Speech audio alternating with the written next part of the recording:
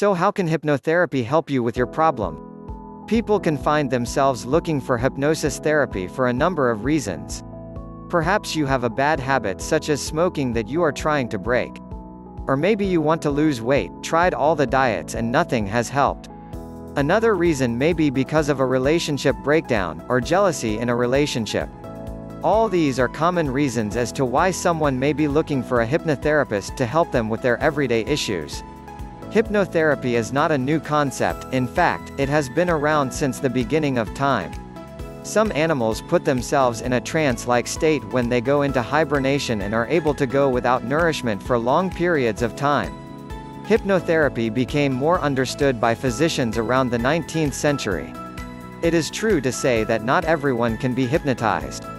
Research shows that people with the ability to perceive what is going on around them and recognize changes in their own awareness may block themselves from being helped through therapy.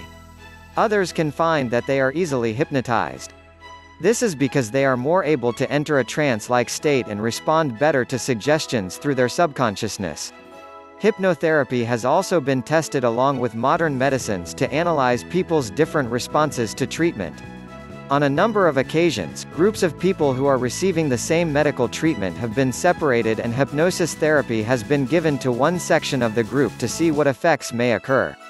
More often than not, those who received hypnosis therapy felt less pain and anxiety and made a speedier recovery, which in turn, saved costs on medical treatment. It is unfortunate that most people's first introduction to hypnotherapy is stage hypnosis which gives the idea that hypnotherapy is where someone puts you under a spell and controls your movements causing you to perform in front of an audience some kind of bizarre act. This is not what hypnotherapy is all about. When a person looks to a hypnotherapist to help them with their problem, although they will put in a very relaxed state, they are always going to be aware of what is happening around them.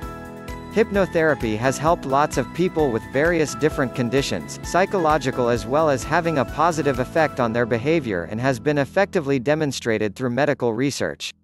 Hypnosis has helped people overcome common and uncommon issues that people are faced with in their everyday lives, offering a release from pressures and conditions that seem to have a hold over them either by bad habits such as smoking or psychological issues such as jealousy. Whatever the issue is that you may be facing, hypnosis can have a positive effect and help you overcome these issues.